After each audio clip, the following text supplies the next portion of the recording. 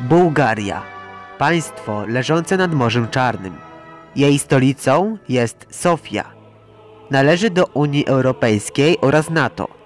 Sąsiaduje z Turcją i Grecją z południa, z Rumunią z północy oraz z Serbią i Macedonią z zachodu.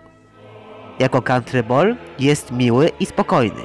Nie lubi komunizmu. Rosja.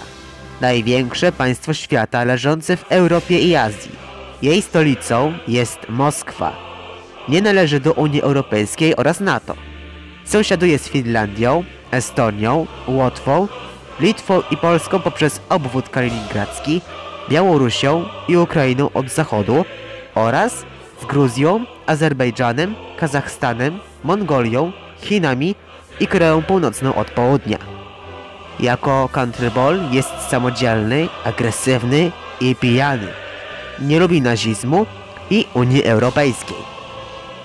No dobra, ale dlaczego ich wymieniłem? Czy oni mają coś wspólnego? Tymi i dalszymi pytaniami rozwiążemy w teorii o tytule Czy Bułgaria jest młodszym bratem Rosji? Zacznijmy od tego, jakie mają podobieństwo. Przejrzyjmy się flagom tych państw. Na pierwszy rzut oka widać, że środkowy pas jest zmieniony. Warto dodać, że obaj są Słowianiami i mówią po rusku. Jednak to nie wyjaśnia, czy oni są braćmi. Zatem sięgnijmy do historii. Na tym etapie nie będę powtarzał, co się stało z Hitlerem, ponieważ i tak wszyscy o tym wiecie. No, może poza tymi, którzy nie wiedzą, o co kto to był. Wróćmy do tematu.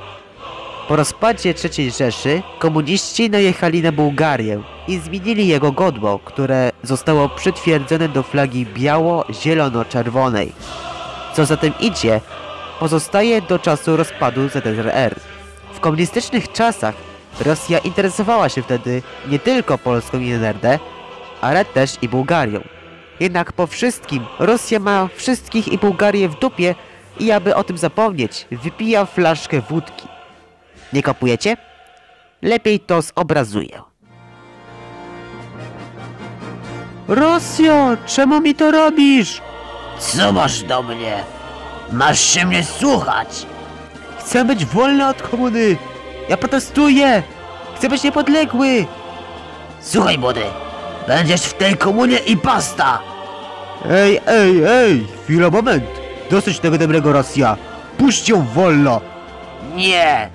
Bo pozbędę twój cholerny komunizm! I co? Zmusisz mnie, kapitalisto? Rosja, ja z Łotwą i Estonią wychodzimy z radziectwa. Czemu? Bo jesteś okrutny co do Bułgarii i wszystkich. Nie, nie możecie tego zrobić! Ej chłopaki, nudzi mi się. Sorry Rosjo, ale my spadamy. Wszyscy? Wy świnie! Tylko nie to! Bułgaria, Co? i tak jesteś dupkiem. Zatem można z tego wywnioskować jedną rzecz. Mianowicie Rosja jest pijanym bratem i nie troszczy się o swojego drugiego brata, ponieważ ma go gdzieś. Z kolei Bułgaria stara się dojść do Rosji, co zawsze nie wychodzi powodzeniem. A wiecie czemu? Ponieważ Rosja jest agresywna. I tak jak po wygranej wojnie akcentem, kończymy dzisiejszy odcinek. Nie zapomnijcie zostawić łapki w górę oraz suba. Dzięki za oglądanie i siódemka.